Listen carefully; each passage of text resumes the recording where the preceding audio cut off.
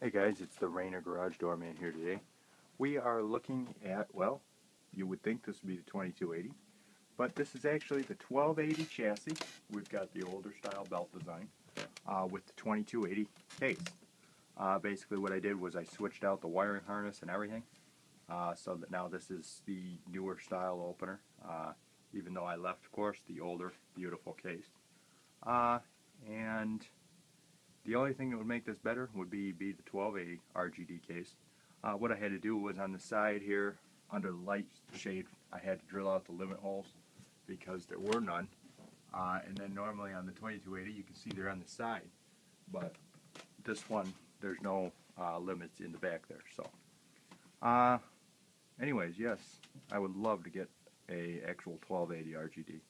For now though, we'll settle with this 1280 2280 hybrid uh, and we'll call it good. We are running it with the LiftMaster 96LM. Here we go.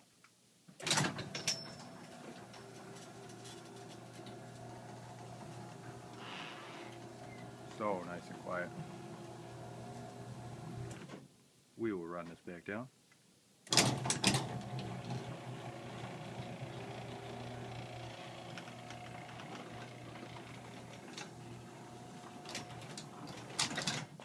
There we are. Check back next week. Subscribe.